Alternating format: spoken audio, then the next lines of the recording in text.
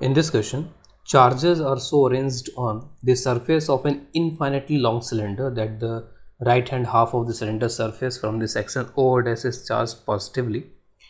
So this half of the cylinder is charged positively and the left half negatively. This is like this. The density of charges increases in both the directions directly proportional to the distance from section O dash.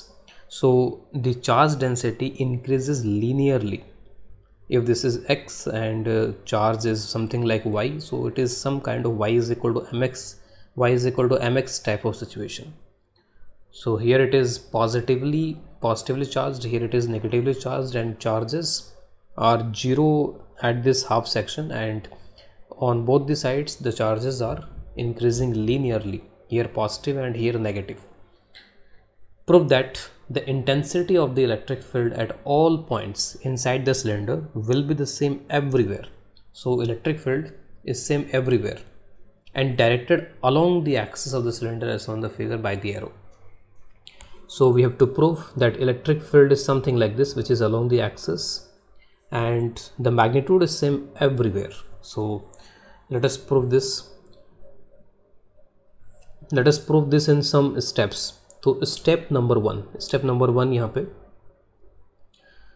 सबसे पहले ऐसा करते हैं कि ये जो यहाँ पे एक लीनर टाइप का यहाँ पे ग्राफ दिया हुआ है, ठीक है? तो this is some kind of graph given here on this diagram तो सबसे पहले ऐसा करते हैं कि ये जो सिलेंडर है, इस सिलेंडर में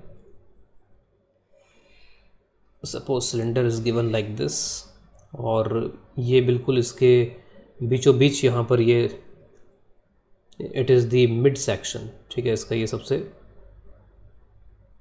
मिड सेक्शन हो गया यहाँ पर ये। और इस पर्टिकुलर सेक्शन पे charge is zero there is no charge and let's say this is the axis this is the axis of this cylinder and I am taking a point a very symmetric point the point will be on this line and somewhere here suppose I am taking a point somewhere here and we are not interested in magnitude. We are just interested in direction. Ki what is the direction of electric field at this particular point? And I am taking a point here on the surface which has charge like dq or plus dq rather. And at a similar distance I am taking another point. If this distance is a then this distance is also equal to a. And again this charge will be same as this charge but this will be plus and this will be minus तो दोनों charges magnitude wise equal and and जो इनका sign है sign में opposite होंगे this D Q will create electric field like this this positive D Q will create electric field something like this so this is the direction of electric field due to this uh, dq and due to this minus dq the electric field will be towards electric field will be like this and from symmetry both the electric fields are equal and from symmetry the components uh, along this line will be cancelled and components perpendicular to this line component perpendicular to this line will be along the axis. So net electric field of these two will be along the axis and something like this. So this point is chosen randomly जो हमने point यहाँ पे ये लिया हुआ है this is a random point इसका मतलब इस लाइन के हर एक पॉइंट पे on each and every point on this line electric field direction will be something like this towards left in the diagram so on this line electric field is along along this direction along towards left but we have not proved what is the magnitude how the magnitude will vary magnitude will be constant और variable we just prove the direction. So on this line on this line at each and every point electric field will be towards left and along the axis. Now uh, this was step 1 and step 1 we have proved electric field on this line will be towards left. Now I am taking a step 2 again making the diagram. Suppose this is cylinder and earlier we have calculated electric field on this line on this section OO dash which is the mid section of this cylinder. Let's say this is the axis of this cylinder and we have taken a point somewhere here.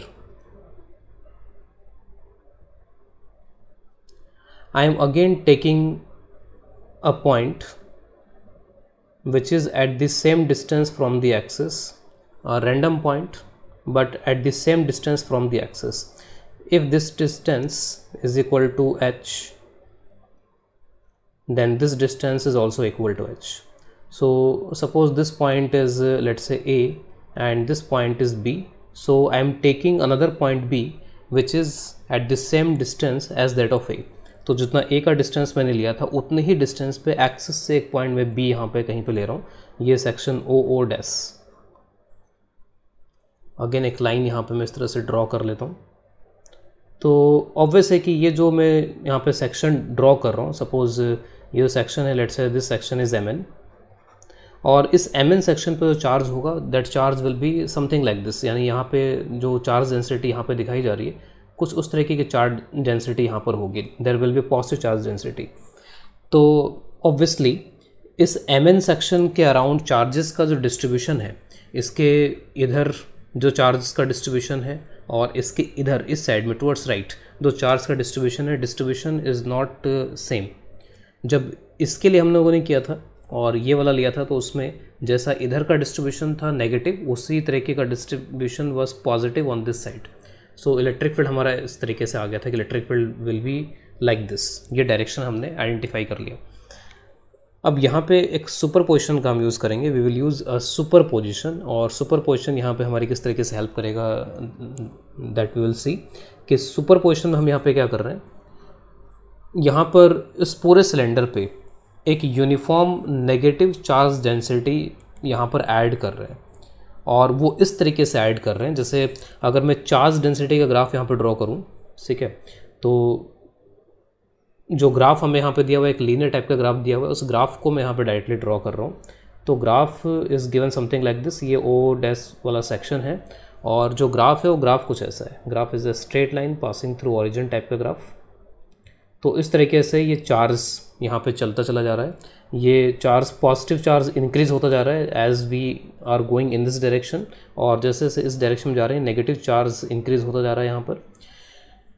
अब एक section मैंने यहाँ कहीं पे इसमें लिया हुआ है। Section is taken somewhere here और यहाँ पर जो चार्ज होगा that charge will be this much यहाँ पर चार्ज डेंसिटी है, वो यहाँ पर इतनी है ज़ीरो नहीं है यहाँ की चार्ज डेंसिटी जो एम एन सेक्शन है, वहाँ पर ज़ीरो नहीं है।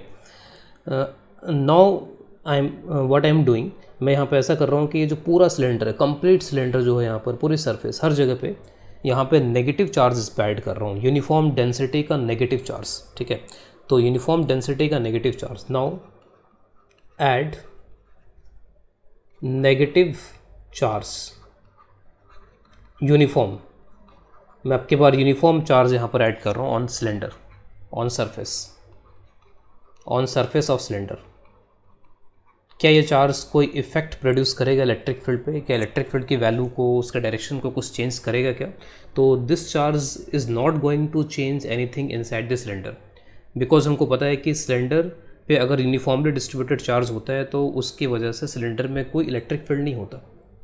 No electric field no electric field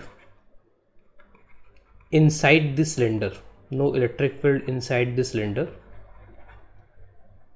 inside the let us uh, write inside the uniformly charged cylinder inside the uniformly uniformly charged cylinder तो अगर मैं एक यूनिफॉर्म चार्ज यहाँ पर ऐड कर रहा हूँ तो उसके वजह से इलेक्ट्रिक फ़ील्ड पे कोई इफ़ेक्ट नहीं आएगा। There is no effect of there is no effect of adding this charge on the electric field और कितना चार्ज ऐड कर रहे हैं तो मैं कुछ इतना चार्ज यहाँ पे ऐड कर रहा हूँ। I am adding charge this much जितना ये पॉजिटिव चार्ज है, उतना ही नेगेटिव चार्ज मैं यहाँ पर ऐड कर रहा हूँ। तो जितना ही पॉजिटिव चार्ज है, उतना ही नेगेटिव चार्ज मैं यहाँ पर ऐड कर रहा हूँ तो क्या होगा? यहाँ पर जो पॉजिटिव डेंसिटी है, वो ज़ीरो हो जाएगी। क्योंकि मैंने उतना ही चार्ज ऐड कर दिया जितना यहाँ पर पॉजिटिव चार्ज था तो चार्ज विल बिकम ज़ीरो और जैसे अगर एक स्ट्रेट लाइन है स्ट्रेट लाइन जैसे अगर Y is equal to let say Y is equal to अगर कोई एक लाइन है Y is equal to two X अगर मैं इसमें टू एक्स माइनस वन कर दूँ तो लाइन जो है वो वन यूनिट नीचे शिफ्ट हो जाती है अलॉन्ग वाई एक्सेस अगर मैं Y is equal to X plus one कर दूँ तो जो लाइन है वो शिफ्ट हो जाती है one unit along the Y axis तो अब सिंपली यहाँ पर क्या होगा? जो ये लाइन ये जो रेड लाइन यहाँ पर बनी हुई थी चार्ज डेंसिटी की, अब लाइन इसी तरीके की होगी, लेकिन वो नीचे शिफ्ट हो जाएगी और एक तरीके से अब यहाँ पर ये जो लाइन है वो ऑरिजिन से पास कर रही है। तो this is the parallel line इस पर कोई स्लोप पे कोई इफ़ेक्ट नहीं आएगा। और एक तरीके से ये जो ग्रीन लाइन ड्रॉ की है मैंने this will be the new charge distribution so this will be the new charge distribution और अगर यहाँ पे इसको केयरफुली विल ऑब्ज़र्व तो जब चार्ज ऐड नहीं किया था मैंने ओरिजिनल जो है ओरिजिनल में यहाँ पर जिस तरीके का charge distribution O dash section के अराउंड है, इधर और उधर यूनिफॉर्म चार्ज ठीक है? इधर और उधर बिल्कुल सेम तरीके से डिस्ट्रीब्यूटेड चार्ज तो जैसा चार्ज का डिस्ट्रीब्यूशन इस सेक्शन के अराउंड है ओ डैश एग्जैक्टली वैसा डिस्ट्रीब्यूशन अब यहाँ पर according to this green line इस एम एन सेक्शन के अराउंड हो जाएगा। Because this is infinite cylinder this is infinite cylinder तो अब फ़र्क नहीं पड़ता कि मैंने इतना डिस्टेंस में आगे चला गया हूँ। तो अगर मैं कुछ फाइनाइट डिस्टेंस आगे गया हूँ तो यहाँ पर ये जो सेक्शन है, ये सेक्शन अभी भी इसको दो इक्वल पार्ट में डिवाइड कर रहा है सिलेंडर को हाफ़ ऑफ़ सिलेंडर में डिवाइड कर रहा है। तो एग्जैक्टली सेम यहाँ पर ये चार्ज का डिस्ट्रीब्यूशन है। तो जैसा ये जो चार्ज का डिस्ट्रीब्यूशन था और वो इस लाइन पे इलेक्ट्रिक फ़ील्ड क्रिएट कर रहा था, जैसे अभी हमने यहाँ पे देखा, इस लाइन पे जैसे इलेक्ट्रिक फ़ील्ड क्रिएट कर रहा था एग्जैक्टली exactly उसी तरीके का इलेक्ट्रिक फ़ील्ड ये ग्रीन डिस्ट्रीब्यूशन भी क्रिएट करेगा। तो इससे वी कैन कंक्लूड कि जो बी पॉइंट है, उस बी पॉइंट पे भी उतना ही इलेक्ट्रिक फ़ील्ड आएगा।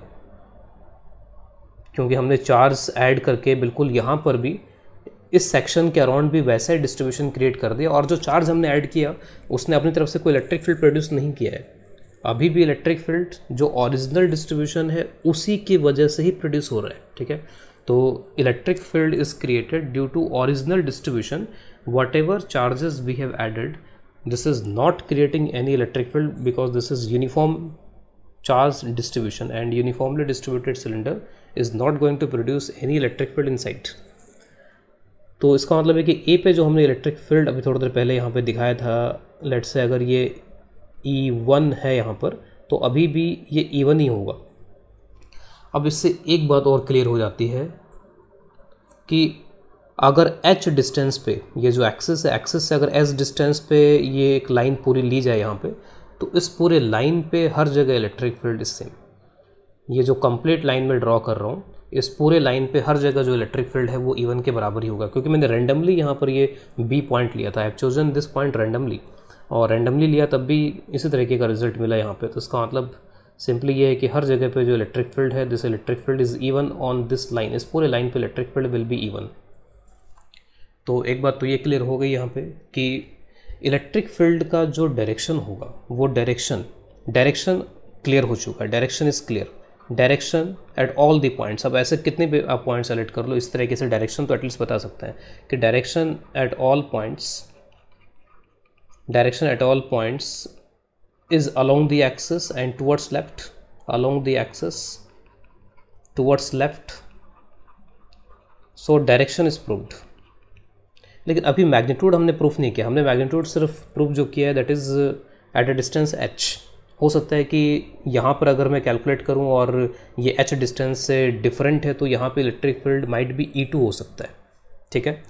लेकिन यहाँ पर भी हम ये बोल सकते हैं कि अगर वो ई टू भी है if that is E two also then then also with this same logic हम बोल सकते हैं कि इसके, इस लाइन के हर एक पॉइंट पर जो इलेक्ट्रिक फ़ील्ड होगा, वो इलेक्ट्रिक फ़ील्ड यहाँ पर ई e टू होगा और इसी डायरेक्शन इस तरीके के डायरेक्शन में आएगा यहाँ पर E two so this will be E two at each point हर एक पॉइंट पे यहाँ पे ई e टू होगा। If somehow if you can prove that E two is equal to E one तो इसका मतलब डायरेक्शन भी प्रूफ हो गया और उसके साथ साथ यहाँ पे हर एक जगह पे मैग्नीट्यूड इक्वल होगा, ये भी प्रूफ हो जाएगा। तो अब जो चीज़ बचती है स्टेप थ्री एक तरीके से कह सकते हैं इसको कि now we have to prove E two is equal to E one so अब तक हमने यहाँ पे प्रूफ कर दिया कि इलेक्ट्रिक फ़ील्ड का जो डायरेक्शन है वो डायरेक्शन यहाँ पर टुवर्ड्स लेफ़्ट होगा। अगर एक्सिस से इक्वल डिस्टेंस पे सभी पॉइंट्स हैं तो हर जगह इलेक्ट्रिक फ़ील्ड मैग्नीट्यूड वाइज भी इक्वल होगा। अब हमने ऐसे टू पॉइंट सेलेक्ट कर किए हैं जहाँ पे जो डिस्टेंस में एक्सिस से अलग अलग डिस्टेंस पर है यहाँ पर। तो अब स्टेप थ्री में we are going to prove कि E two is equal to E one होगा। So let us take step three here तो वापस से ये सिलेंडर कंप्लीट कर लेते हैं let us complete this cylinder something like this और ये इसकी लेटस से कि ये इसकी एक्सेस हो गई। और मैं एक यहाँ पे एक लूप बनाने जा रहा हूँ I am going to make a loop here इस तरीके का एक रेक्टेंगुलर लूप यहाँ पर बना लेते हैं। Suppose this is a rectangular loop here और इस रेक्टेंगुलर लूप में सपोज़ यहाँ का इस पूरे लाइन पे जो इलेक्ट्रिक फ़ील्ड है let say this electric field is even और सपोज़ इस पूरे लाइन पे जो इलेक्ट्रिक फ़ील्ड है suppose this electric field is E two जैसे अभी हमने ऊपर डिस्कस किया। और सपोज़ इस लूप को इसमें नाम देते हैं। Suppose this is this loop is C D